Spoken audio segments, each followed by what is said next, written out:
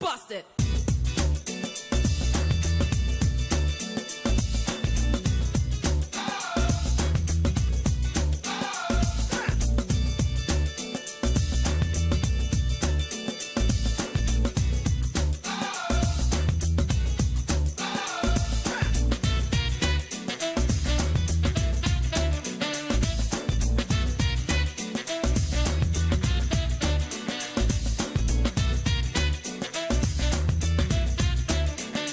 Hello and thanks for staying with us. Welcome to Political Platform. My name is Amechi Anakwe. It's a beautiful um, Wednesday morning, midweek edition uh, in Nigeria's capital across the states of the Federation in Lagos. Uh, the situation is becoming interesting. What's cooking in Lagos, you may ask? Well, it's all about the fate of the incumbent governor, Akinwumi Ambode.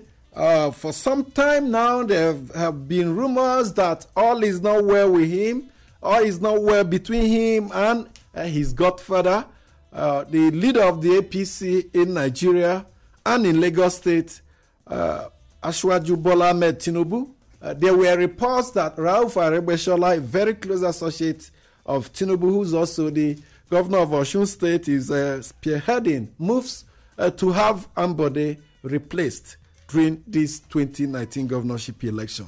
And we told you yesterday on this program the fact that Ambode uh, picked his uh, APC governorship nomination form on the last day uh, that the party provided, the window that he provided, uh, speaks volumes about whether he was uh, struggling to see uh, from with emissaries he sent to the uh, Bola Tinubu to see whether he can have a change of mind. He ended up picking the nomination form here in Abuja, but we also told you yesterday on this program two other persons uh, picked uh, governorship nomination forms uh, uh, of APC governorship in Lagos. Talking of uh, Dr. Bafemi Hamzat, some say he's a very close associate of the former governor of Lagos, Lagos State, Babatunde Fashola. He was a commissioner under Fashola, and one of the persons Fashola would have wished uh, succeeded him as governor. Now, what we are hearing is that the Abuja boys, you know, in Lagos and in the southwest, there's what they call the Abuja boys. Uh, the APC members, uh, not in the camp of Bola Tinubu, uh, those that have come to Abuja to carve a niche for themselves, that the Abuja boys may be behind uh, uh, Obafemi Hamzat. Now, the Abuja boys is led by Babatunde Fashola, uh, the uh, governor elect of uh, Ekiti State. Uh, Kayode Fayemi is also said to be one of the Abuja boys. Same way with the governor of Ondo State, uh, Rotimi Akeredolu, that they are the Abuja boys trying to dismantle and moderate the influence of Bola Tinubu in Lagos. Then uh, there is the Bola Tinubu angle, the third man that picked the ticket, uh, Babajide Sanyolu. Uh, he is a close associate of uh, Bola Tinubu, uh, the managing director of Lagos State Property Development Corporation. Uh, the fact that 20 local government chairmen in Lagos State and chairman of the 37 LCDAs uh, in Lagos State, all part of what is referred to as the mandate group. The mandate group is the Tinubu group, signed uh, his nomination form and were present uh, when uh, he went to purchase that form. Now, where does it leave Ambode? That's the big question. It brings to light and throws to the fore uh, the dominance of uh, some individuals in states of the federation. If you talk about Delta State, uh, you think of James Ibori, who is uh, totally in charge. Uh, they say even when he was in prison, he will determine not just who will become the governor of Delta State, but even commissioners and local government chairmen must uh, get uh, the approval before they can come into office. Then, to an extent, you talk about uh, Bukola Saraki in Kwara State, since he had tweeted his father and took over the father's political machinery he has been uh, greatly involved uh, in uh, Kwara State, where Abdul Fattah Ahmed, his protege, is uh, almost completing his two term governor. Now, I'm back to Lagos State. Uh, Tinubu is one that would control all the structures uh, from deputy, from governorship to deputy governorship, all commissioners, uh, members of the State House of Assembly, uh, local government chairman, even councillors. They say you must get the support of Tinubu before you get into office. And that explains why uh, Tinubu is in a control, complete control in Lagos. And any serving governor dare not oppose him. There are also uh, rumors that uh, Ambode may be impeached if he dares to return the nomination form or if he we even think of uh, jumping ships, defecting from the APC to look elsewhere uh, for a platform to contest. So we have a situation in Lagos where uh, you, uh, just as we know in political science, three stages of of uh, acquisition of state power. If you want to get involved with politics, first you acquire state power. Uh, Tinubu will help you to acquire state power. Then you consolidate. You will not consolidate. He will consolidate. Consolidation means appointing your men into key positions. Just as uh, when a president uh, is uh, sworn in, he appoints the SGF, uh, chief of army staff, heads of security agencies, heads of service, name the ministers. It's all part of the process of consolidation. But as a governor, Fashola, for instance, uh, never consolidated, and it's obvious that uh, Ambode did not consolidate. And the third aspect is use of state power. Now, you use it to a limited extent. Uh, you can't just do uh, use the powers uh, the way you like. For instance, we were told that uh, the move by uh, the Lagos State Governor Ambode to uh, restructure the waste management system in Lagos is one of the reasons why the Tinubu camp is not uh, happy with him. That he dismantled the structure uh, set up by Tinubu. So uh, you, you, governors that are brought in by their godfathers uh, will really not use state power. So it is a dicey situation for Ambode. What are his options? Uh, we'll be linking a barrister in Lagos, one who has been following political development in not just the southwest but across Nigeria for decades. Uh, Wale Ogunade to, of course, uh, uh, help us with analysis. But before then, uh, let's uh, give you hints of what happened in Abuja yesterday. The president received his nomination form from uh, the group that purchased it for him free 45 million, and the president said he is on a mission to consolidate on the good work he started more than three years ago in 2015 and he has some words for the campees from the APC. Described them as weak and selfish. Now, it has elicited a lot of reaction from people. They said uh, when they initially defected to the APC, uh, the president saw them as brave and strong. Now they are leaving. He's saying they're weak. Anyway, politics is all about interest, interest in the campaign from one party to the other, and uh, interest in de- trying to define and conceptualize the reasons behind uh, their uh, defection. Then another interesting development here in Abuja on Tuesday, Yakubu Dogara, the Speaker of the House of Representatives,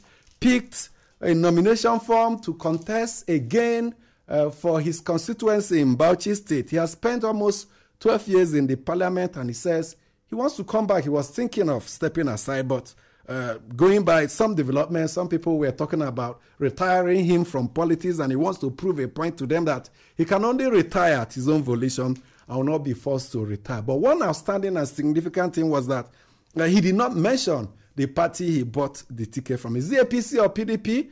I saw posters of his supporters. There were so many of them that drove in from Bauchi into Abuja. Uh, they had uh, uh, posters of the speaker, but there was no party logo, no party name, and no party color. But from what we have observed, it's, it appears uh, Yakubu Dogara has settled for the PDP.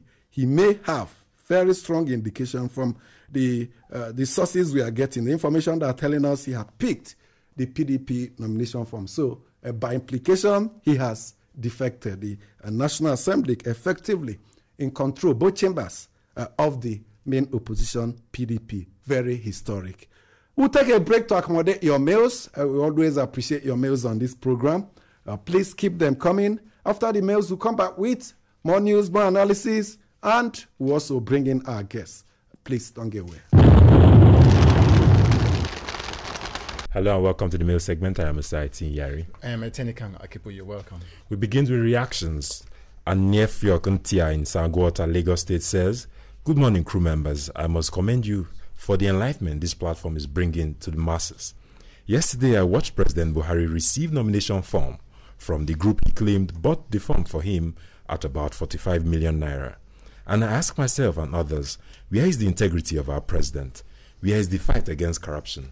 Where is the place for the youths in Nigerian politics? The whole thing is not only dramatic, but surprises many Nigerians to see a president who claims to be fighting corruption receiving a form of 45 million without seeing anything wrong with the high cost of it.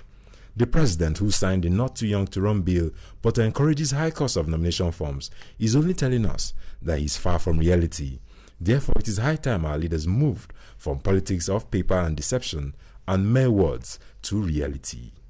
And Amechi Obochin Kubwa Abuja writes on President Buhari and his chances in 2019. He says, HSBC, perhaps the world's biggest bank, has warned that a second term for Buhari will damage Nigeria's economy further. A very good warning from those who know what it takes to build a good economy. What then is Buhari and his lieutenants doing? Anyway, I know that that name calling and bad blood will in no distant time be released by the managers of Buhari we will find it very difficult to swallow this hook, line, and sinker. Apart from HSBC, some of us here have realized that Nigeria is not moving forward as being showcased by some, as our economy, our currency, our unity, and reputation have all been negatively touched in the last three years. I therefore urge Buhari to take these as a good advice and chart a new course for Nigeria so that their predictions would not come to pass. That's it on the mail segment. Continue to write to us through political platform at raypower.fm. Thank you so much uh, for uh, staying with us there. Uh, listener Mekamba talked about uh, the statements uh, released uh, by the president's uh, senior special assistant on National Assembly, Ita Enang, saying that he has scrutinized the amended Electoral Act as passed by the National Assembly sent to the president for his assent, and I did not see in anywhere where the issue of the card reader, uh, strengthening the card reader, making it the sole and only means of accrediting voters uh, in that upcoming election. That is not contained there. So uh, there's a lacuna here, what uh, some lawyers will call gaps uh, within the laws. Some uh, gray areas, some clouded, some clouds covering the issue, like he asked our listener, Mekamba who's saying the, who's telling the truth. Maybe we have to go in search of the Electoral Act as passed by the National Assembly, the one the clerk uh, dispatched to the uh, presidency. Could it be that uh, there was nothing like that contained? These are the questions, but we are doing our, our investigations. Uh, when we are done, we'll just uh, bring up every uh, everything we have unearthed to you. Femi Otedola, businessman from Lagos State, man whose father was a governor of uh, Lagos State in the past during the aborted uh, republic, it is rumored, uh, has accepted the invitation of the People's Democratic Party (PDP) in Lagos State to become uh, its candidate, a governorship candidate in the forthcoming election. Very interesting. These are all rumors. Even these rumors about and speculations about the fate of um, Sanyaolu, uh, Ambode, and Tinubu. No confirmation yet, but from the body language and from facts on ground, a lot of people are making conjectures uh, and pushing everything to the fore. Uh, what are the options uh, before uh, Akinwumi Bode? Should he swallow uh, the humble pie and serve only one term? Or should he want to go down fighting, uh, contest the APC uh, governorship nomination in Lagos State, or jump to another party? These are some of the options. My colleague Adebayo Bodri uh, is joining us. Thank you so much. Yeah, Mishi. Um, what the what is playing out in Lagos is really, really very, very, very interesting. Really, very interesting because uh, if you recall, uh, in 2011, a similar scenario played out between uh, uh, current Minister of Works, who was then the governor, uh, but at the end of it all, there were even there were speculation, why speculations then that he may likely be contest on the on the ticket of uh, I'm under the platform of uh, PDP then. But I think one way or the other, the differences were were resolved, and he, he, he sought for second term, and he actually he won the race. Some people are pointing towards that as a possible scenario that Tinubu has a way of uh, playing a game of brinksmanship. He will threaten to pull the rug off your feet. Then, uh, when um, emissaries will come and beg, he will now say, "Okay, let me allow him further."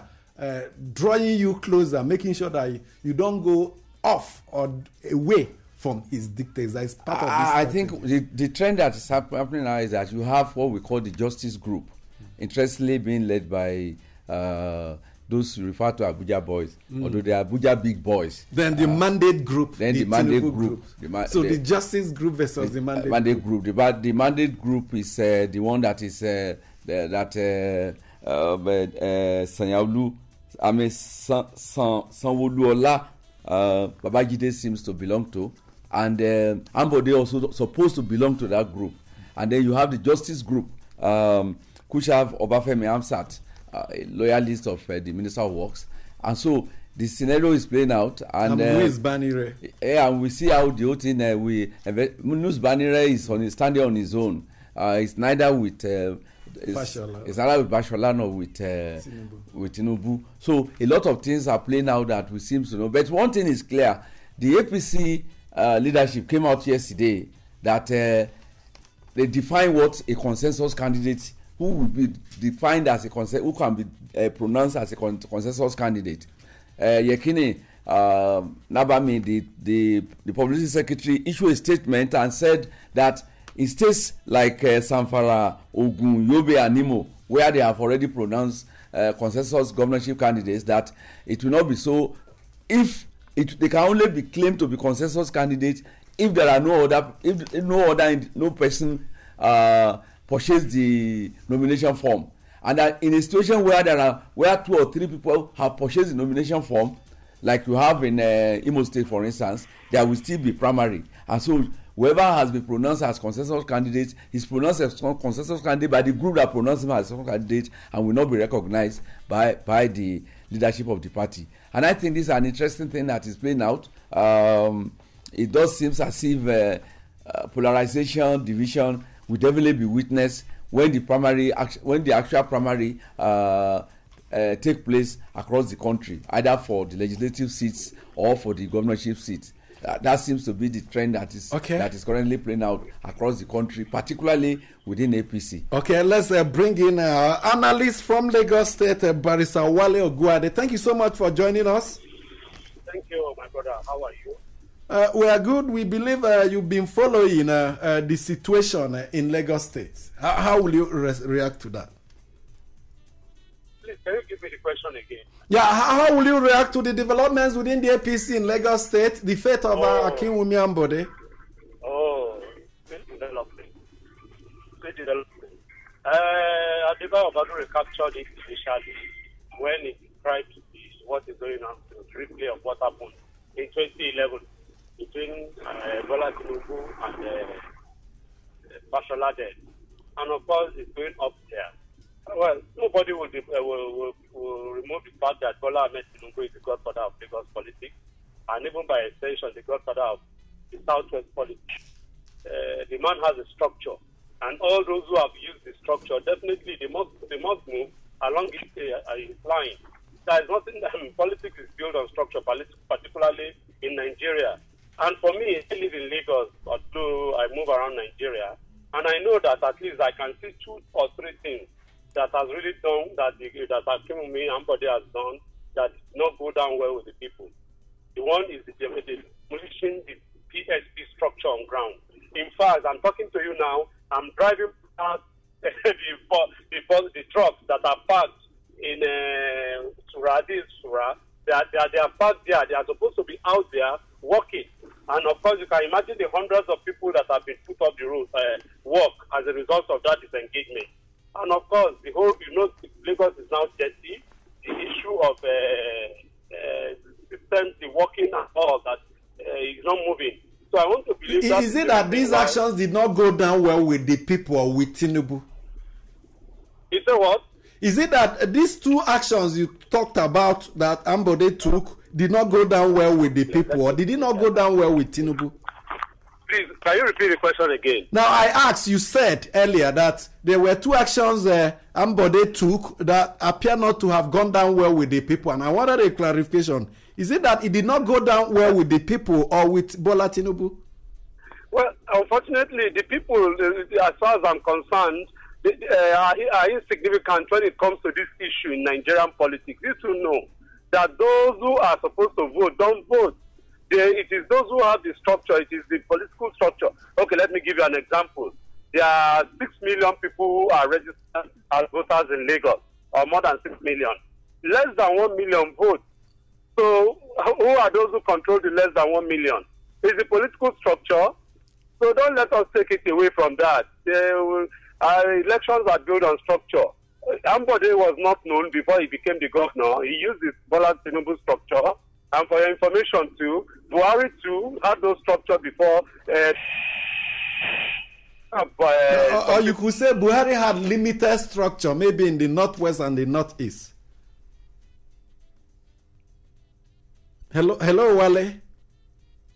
Oh, it seems to have. Uh, we'll, we'll We get to have him lost back on the line. Some would say What uh, he was the saying was president that- had some structure, What but he- not what- a national Yeah, structure. what he was saying was that uh, Ambode did not have structure until he became governor. Well, but if you knew, I mean, if you if, if you are familiar with how Ambode emerged as uh, the governorship candidate of APC in Lagos, you will know that it's a fallout of the rift between him and uh, and uh, uh, Babatunde Raji Fashola, who was then the governor of Lagos State. Uh, um, Ambode was chief accountant of Lagos State during the period of uh, of uh, Tinubu, and somewhere along the line, he was he was about to be kicked out, which uh, Tinubu did not like, and he said, "Okay, go and resign." The man who wants to kick you out, you will will be surprised that you will replace him, and actually, Ambode replaced Fashola. And uh, some said at the height of uh, the political conflict between Fashola and uh, and uh, Tinubu, uh, it was uh, Ambode that was encouraging the leaks uh, from the uh, accounts and operations of the Lagos State government. For instance, uh, the what people ref- refer to as scandalous amount spent on building a website and borehole by Fashola just when uh, the president was trying to uh, put up his cabinet, and some people felt it was a move from the Tinubu camp to indeed uh, prevent that by releasing that. Now uh, he's at the receiving end after having helped to also uh, give it to someone. Uh, Wale Oguade is back on the line. yes, yes. So Yeah. you co- you continue with your perceptions. So what are the options uh, before Ambode now? Well, the, the option is that we just go and see how we can mend its ways. That's what uh, uh, Fashola did.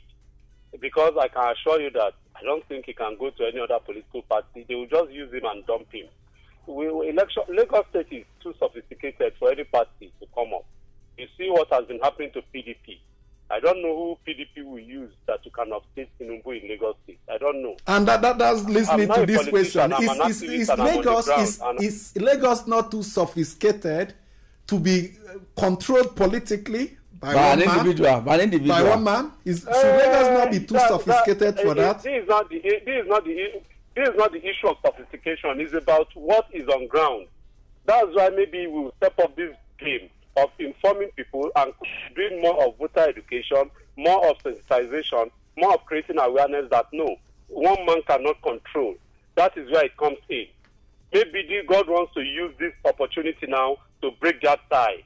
But as far as the, I'm talking of the present, I'm not talking of the future. Okay, now, as far uh, as Lagos politics is concerned now, uh, Tinubu is in control. Now, Femi Otedola is being brought into the picture. There are reports Hmm. that PDP has offered him uh, their ticket, no confirmation Hmm. yet. But what does it mean to you? Uh, to me, Otedola is just coming from nowhere. The PDP has no structure to upstage uh, Tinubu. If PDP, if Otedola is uh, contesting under APC or on, uh, with a party allied with Tinubu, okay. But you want to go against Tinubu, accept any a miracle happens. I don't see it. Otedola and you don't rule out miracles in politics and elections. I, I know, I know. I don't. uh, You don't worry. Definitely, by the grace of God, by by by the next two months, please give me a call, and we can now discuss it further and say, yeah, miracle or no miracle. But are, are, you- are, you, not familiar with what happened in the aborted republic? That against all predictions, I, I know, I know about his father. I know, I know, I know. That's not doubt. Not anything can happen. But I'm just talking about today. I've already stated that. That about today, the structure on ground with PDP cannot move Otedola into into Alausa except a miracle happen. So, some maybe- alignments, some realignments, which are not ruled out in politics. They strike anything at can will. happen. Anything can happen, but you can be sure that Akim Ambode will not go down just like that. He too will use anything. In the Bible, we call it skin for skin. In the book of uh, Proverbs. So his only He will do option is to go, like we say in local parlance, continue to dobale before Tinubu. Uh, If that's what, if, the, if that's the option that will be, continue to retain him in office, let it be.